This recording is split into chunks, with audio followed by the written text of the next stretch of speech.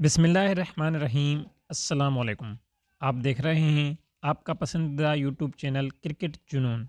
बाबर आज़म के लिए साल 2021 का यादगार लम्हा कौन सा था? कौमी क्रिकेट टीम के कप्तान बाबर आज़म ने 2021 के अख्ताम पर कौमी टीम की कारकर्दगी समेत भारत के ख़िलाफ़ जीत पर अपने ख्याल का इजहार किया है। यूट्यूब पर जारी पाकिस्तान क्रिकेट बोर्ड पीसीबी के पॉडकास्ट एपिसोड में बाबर आज़म ने अपने ख्याल का इजहार किया। कौमी कप्तान ने कहा कि अहम यह नहीं कि आप आगाज़ कैसे करते हैं, बल्कि अहमियत ये रखता है कि आप साल का अख्ताम कैसे करते हैं। जिस तरह हमने साल का अख्ताम किया, वो सबके सामने है। उन्होंने कहा कि अगर उनसे इस बरस का यादगार लम्हा पूछा जाए तो वो टी ट्वेंटी वर्ल्ड कप का पहला मैच था, जिसे बयान ही नहीं किया जा सकता। उस वक्त यही सोचकर मैदान में उतरे थे कि माजी के रिकॉर्ड्स को भूलकर हाल पर फोकस करना है। कौमी कप्तान का कहना था कि हमने इससे पहले तक भारत के खिलाफ कोई जीत रिकॉर्ड नहीं करवाई थी, लेकिन अल्लाह ने उसे तब्दील करने में हमारी मदद की। यह टीम की मेहनत थी, हम पर उम्मीद थे, लेकिन ओवर कॉन्फिडेंट नहीं थे।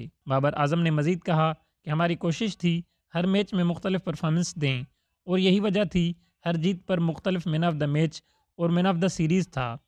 उनका कहना था कि अगरचे हम सेमीफाइनल तक पहुँच कर हार गए, लेकिन हमने इससे भी सीखा कि हमारी गलती क्या थी और हम कैसे अच्छा कर सकते हैं।